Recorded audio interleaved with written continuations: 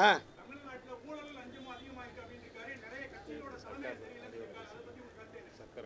Sarkar audio ஃபங்க்ஷனில் பேசியிருக்காரா? இன்னொன்று அவர் பேசுறதுக்கு அவருக்கு உரிமை இருக்கிறது பேசுறாரு. என்ன தப்பு? அவர் சொல்ற மாதிரி இந்த நாட்டில் ஊழல் லஞ்சம் இல்லைன்னு நினைக்கிறீங்களா? நிறைய இருக்கு சார். ஊழல் லஞ்சம் தலைவிரிச்சு ஆடுது.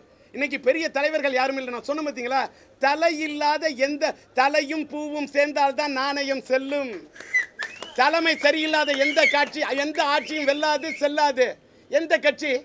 நான் கேட்குறேன் எடப்பாடி இன்னைக்கு தமிழக முதல்வராக இருக்கார் மாண்புமிகு. அவர் தனியாக நின்று ஓட்டு வாங்க சொல்லுங்க. அம்மா வாங்கி வச்ச ஓட்டு. அவர்லாம் அதை வச்சுக்கிட்டு இன்னைக்கு சும்மா இது பண்ணிக்கிட்டு இருக்காரு. அவரு ஓபிஎஸ் எல்லாம் தனியாக நின்று ஓட்டு வாங்க முடியுமா? யார் இந்த ஓபிஎஸ் யார் இந்த முதல்வர் எடப்பாடி? யார் இந்த ம- அமைச்சர் ஜெயக்குமார்? யார் இந்த அமைச்சர் விஜயபாஸ்கர்? இவர்களோட சொத்து பின்னணி என்ன? இவங்கெல்லாம் இப்படிலாம் சம்பாதிக்க முடியுமா? சினிமாக்காரர்கள் கூட சம்பாதிக்கல சார். சினிமாக்காரர்கள் அத்தனை வருமான வரி ரைடு. இவங்க மேலே ரைடு விடுறாங்க. ஆனால் எங்கே பணம் போகுதுன்னே தெரியலையே. சார் இந்த ஆட்சியில் இந்த ஆட்சி குறித்து நான் பேசணும்னா நிறைய பேசலாம். அது இது தருணம் அல்ல. ஆனால் ஒன்றே ஒன்றுங்க இவங்கெல்லாம் பொதுமக்கள்கிட்ட ஓட்டு வாங்க வரட்டும் மக்களுக்கு விழிப்புணர்ச்சி ஏற்படுத்தணும். சினிமாவில் இன்னைக்கு விஜய் மன்றமா? விஜய்க்கு மன்றம் அதிகம். அதே மாதிரி அடுத்து சிலம்பரசனுக்கு தமிழ்நாட்டில். பாத்தியா? இல்ல இல்ல. இன்னொன்னு உடனே சிம்புக்கு மன்றம்லாம் இல்ல. அப்படி இப்படி நீ சொல்லிக்கிங்க. எங்களுக்கு அதை பத்தி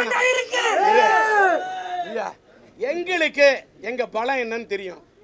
நாங்க ஆட்சிக்கு வரமோ இல்லையோ ஆனா நாங்க நினைக்கிறவங்க தான் ஆட்சிக்கு வர முடியுங்கிற இடத்தை உருவாக்கும். இது பலம். எனக்கு தாய்மார்களோட ஓட்டு என்னால் வாங்க முடியும். தாய்மார்கள்ட்ட ஒரு எனக்குன்னு ஒரு இடம் இருக்குது எல்லாரும் மெய்க்க கூட டீராஜர் பிடிச்சி பேசுவேன். ஆனால் கதாநாயகை தொட்டு கூட பேசுனது கிடையாது. தாய்மார்களோட இதயத்தை தொட்டவன். வைக்கிறேன். எப்படி மெய்க்க பிடிக்கணும்? எப்படி ஓட்டை கேட்கணும்? தலை இருக்கும்போது வால் ஆடக்கூடாதுன்னு கலைஞர் அவர்கள் உயிரோடு இருந்த வரைக்கும் நான் அடக்கி வாசித்தேன் என்னைக்கு மறை என்னுடைய முன்னாள் குரு கலைஞர் ஆகஸ்ட் ஏழு மறைஞ்சிட்டாரோ அதோட ஒரு சாப்டர் ஓவரு இப்போ புது சாப்டர் இந்த நியூ சாப்டரில் என்ன பண்ணுறோங்கிறத சொல்ல மாட்டேன் செய்கிறேன் அதாவது நீங்கள் நீங்கள் வெளியில் போய் நாங்கள் இது கொடு பாலிமரில் தான் நாங்கள் இது நடத்தணும் போராட்டம் நடத்தணும்னா ஐம்பது பேரை வச்சு நடத்தணும்னு எங்களை தூ தூண்டி விட்டு பார்ப்பீங்க. அன்னைக்கு நீங்கள் கேள்வி கேட்டீங்க நான் பதில் சொல்லணும் திணறல. நான் அமைதி காக்கணும்னு அமைதி காத்தேன். நான் பதில் சொன்ன ஆரம்பித்தா உங்களுக்கு மூச்சடைச்சு போயிடும். அதனால தான் நான் பதில் சொல்லலை. ஆ அது வேணாம். அந்த ராஜேந்தர் இனிமே எதிர்பார்க்க முடியாது. நான் அந்த ராஜேந்தர் இல்லை. இனிமேல்லாம் இப்போ நீ அங்கே நிற்கக்கூடியது ஒவ்வொன்றையும் நான் மெய்க்கா நினைக்கல ஒன்று துப்பாக்கின்னு நினைக்கிறேன். எப்போ எங்கே வெடிக்கணும் யாருக்குன்னு தெரியாது. அதாவது நான் சொல்ற தோட்டாக்கள் மாதிரி கேள்வி. அப்படிதான் ஊடகங்கள் இருக்க வேண்டும். என் ஊடகத்துறை நண்பர்கள் இப்படி நல்லா இருக்கிறத நீ என்னோட நண்பனாக தான் உன்னை கருதுறேன். உன்னை நான் எதிரியாக கருதவில்லை உதிரியாகவும் கருதலை. அதனால இன்னைக்கு வந்ததுக்கு எல்லாருக்கும் நன்றி. ஓரளவுக்கு எல்லாமே கவர் பண்ணிருப்பேன்னு நினைக்கிறேன்.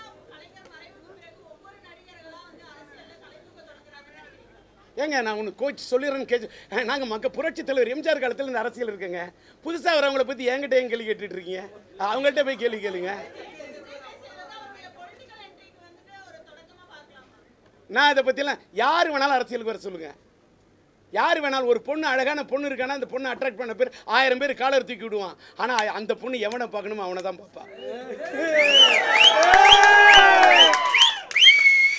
தமிழ்நாட்டு மக்கள் அவ்வளவு தெளிவானவங்க. இதுக்கு மேலே அர்த்தமே இருக்கக்கூடாது நீங்கள் பெண்ணாக இருந்தனால இவ்வளோ ஏன்னா இப்போ ஒரு த- ஒரு கண்ணியத்தோட இந்த பதிலை சொல்லி நிறுத்திக்கிறேன். அந்த அதே மாதிரி தான் எல்லாமே. ஒரு பெண்ணுக்கு தெரிய ஒரு பெண்ணுக்கு யாரை தேர்வு அம்மா இந்த நாட்டு மக்களுக்கு எந்த கத்திரிக்காய் வாங்கணும்? எந்த கடையில் காய்கறி வாங்கணும்? எங்கே போய் சேலை வாங்கணும்? எங்கே போய் யாரு? இல்லை இல்லைம்மா. பெண்கள் வந்து இல்லைங்க பெண்களுக்கு தேர் பெண்கள் யார் எத்தனை பேர் சுயவரம் வச்சாலும் யாரை தேர்ந்தெடுக்க வேண்டுமோ அவளை தான் அவர்களை தான் தேர்ந்தெடுக்கக்கூடிய அளவுக்கு அவர்கள் மனப்பக்குவம் படைத்தவர்கள் திறமையானவர்கள் என்று சொல்லுவருக்கிறேன் அதான் நீங்க எடுத்து போட்டு பாருங்க.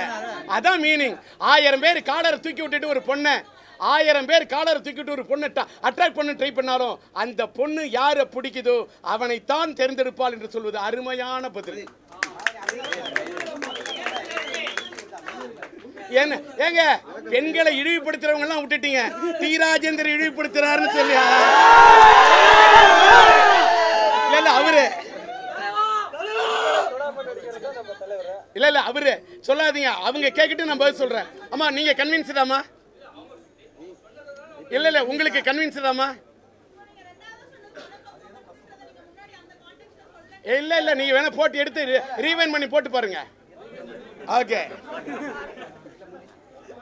ரெடி நான் ஸ்டாப் நியூஸ் தமிழ் சேனலில் நீங்கள் மறக்காமல் லைக் பண்ணுங்கள் கமெண்ட் பண்ணுங்கள் ஷேர் பண்ணுங்கள் முக்கியமாக சப்ஸ்கிரைப் பண்ணுங்கள்